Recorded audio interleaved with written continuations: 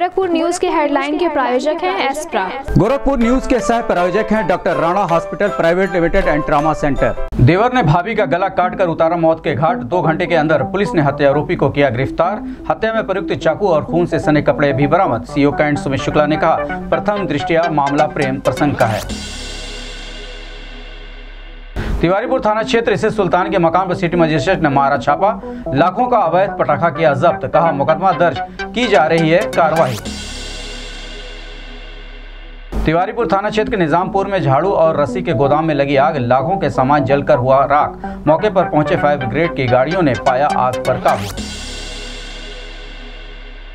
रामगढ़ताल थाना क्षेत्र के गोपलापुर इलाके में कुछ दिनों पहले दबंगों द्वारा फिल्मी स्टाइल में असलाह लहराते हुए खबर को गोरखपुर न्यूज़ पर प्रमुखता से दिखाने का अधिकारियों ने लिया था संज्ञान। फरार चल रहे दूसरे आरोपी अभियुक्त को किया गिरफ़्तार। अवैध तमंचा किया बरामद।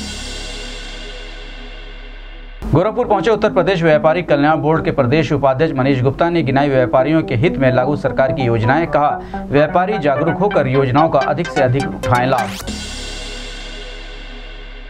आईएमए के नई कार्यकारिणी के चुनाव में डॉक्टर मंगलेश श्रीवास्तव चुने गए अध्यक्ष डॉक्टर आनंद अग्रवाल बने महामंत्री। कहा, सभी के हित में कार्य करेगा भारतीय चिकित्सा संघ। उत्तर प्रदेश व्यापारी कल्याण बोर्ड के प्रदेश उपाध्यक्ष ने व्यापारियों व भाजपा पदाधिकारियों के साथ की बैठक। कहा, जल्द ही गोरखपुर में होगा व्यापारी सम्मेलन।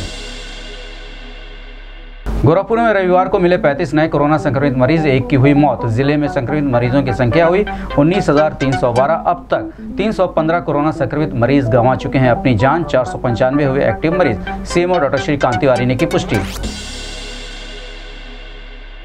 और दीपावली पर्व के अवसर पर किया गया दीप डेकोरेशन ऑन शो का आयोजन। प्रतिभागियों ने किया डिज़ाइनिंग दियों का प्रदर्शन।